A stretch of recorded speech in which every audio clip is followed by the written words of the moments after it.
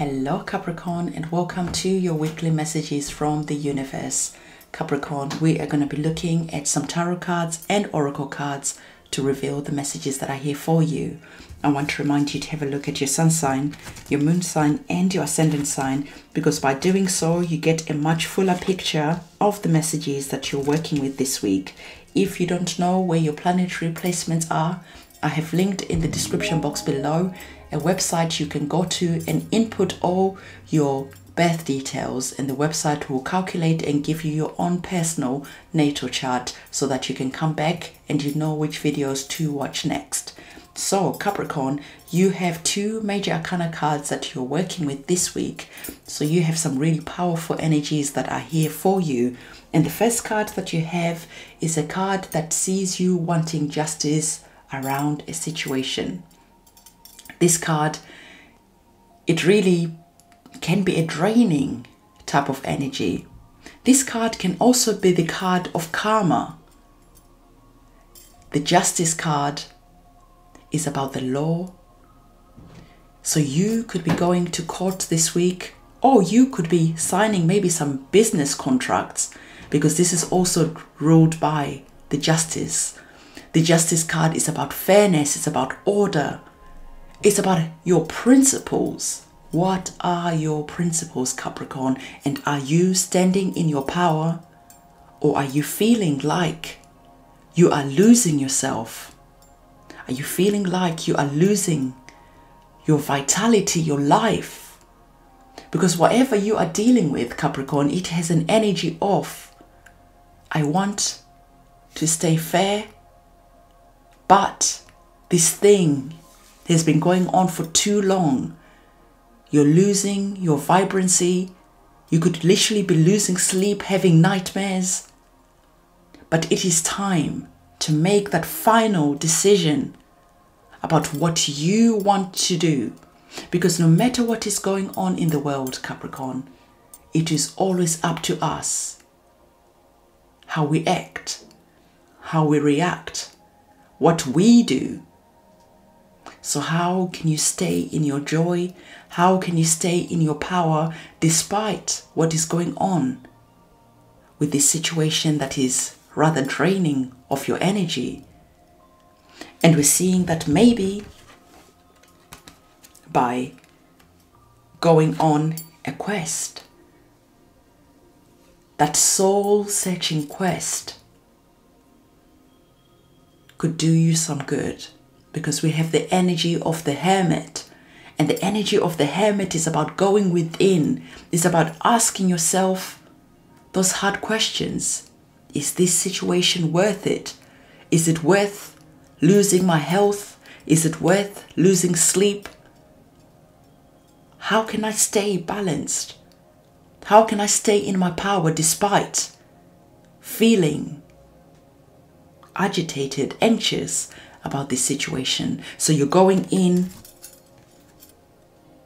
in your soul, in your heart, and you're going on a quest because we can even see with the with the image of the hermit it's the same type of energy of I am tired, I am sick and tired. And you're understanding that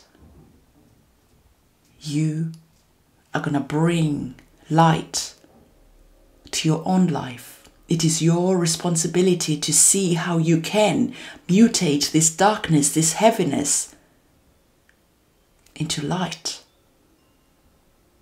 And you do so by asking yourself those hard questions, by connecting with the divine, praying about it, asking your guides for guidance, for help, for solutions, even.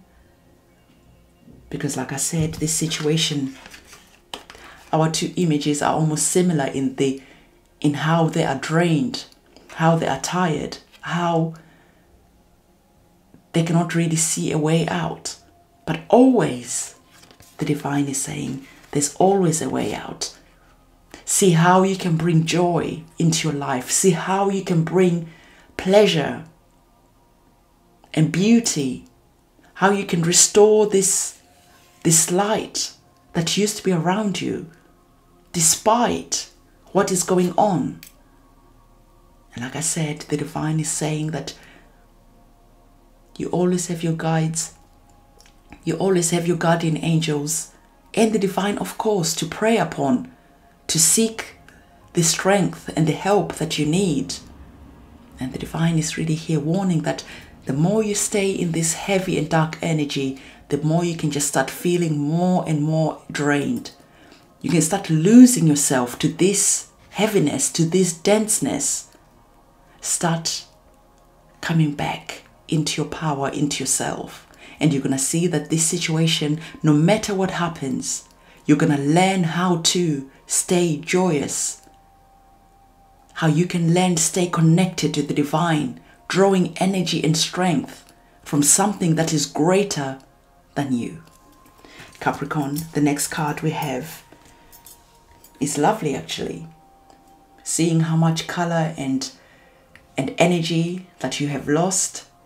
This card is here signaling the end of a tough situation. So this card is saying the end of a tough cycle approaches. Could it be that finally you decide,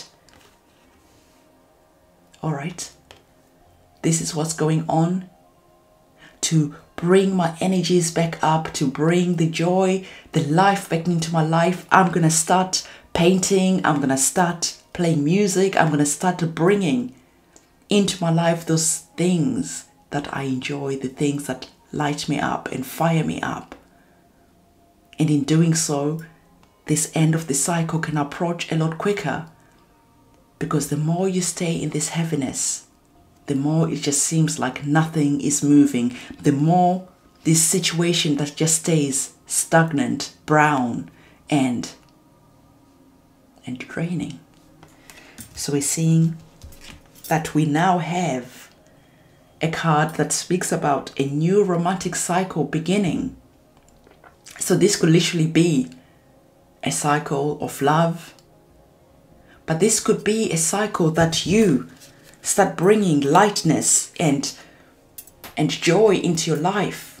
And that feels so good. That feels so loving so gentle to you.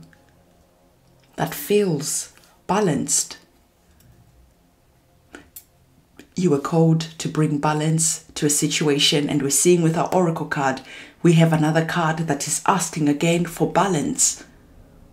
And in bringing in balance you can start feeling a lot, lot better than you are now.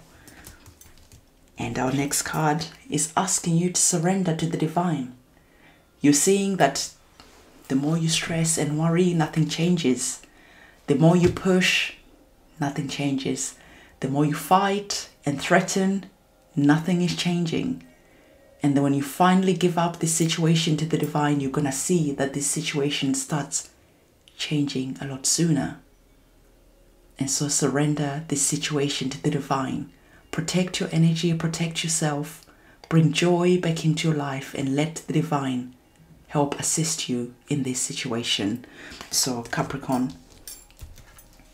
I wanted to see the energies that you were working with this week, and you're working with the energies of Aries. And the energy of Aries bring that fire, bring that light to you. The energy of Aries is the energy of I am.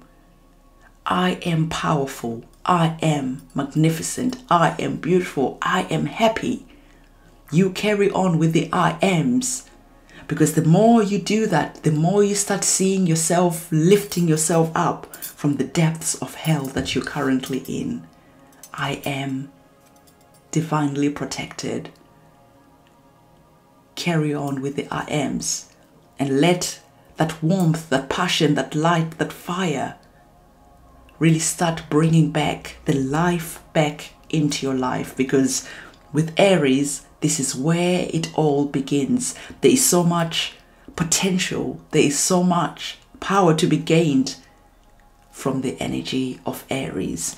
So, Capricorn, I wish you all the luck in the world with this situation that you're currently dealing with. Don't forget to share this video with anyone that you think needs to hear this message, give this video a thumbs up, comment, subscribe, and hit that notification bell. On that note, I'm going to see you in my next video and it's a goodbye.